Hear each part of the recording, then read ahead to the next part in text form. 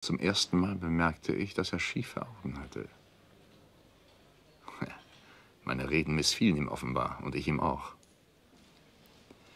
Als letzter aus dem Röntgenstall erschien Boleros. Er war klein, lebhaft und hatte flinke Augen wie ein hungriger Iltis.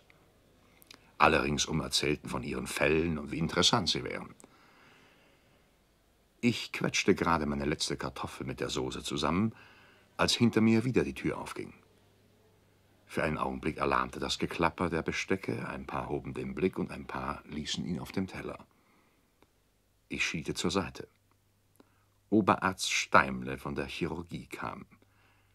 Er nickte nur kurz und setzte sich abseits an einen einzelnen Tisch. Ich hatte das Gefühl, dass die Mehrzahl der Anwesenden diesen Mann hasste. Warum wohl? Immerhin, Mittagessen musste er auch. Das tröstete mich. Ich wischte mit dem Mund, lächelte in die Runde, stand auf und verdrückte mich. Im Fahrstuhl versuchte ich, mich auf meine neue Assistentin zu konzentrieren.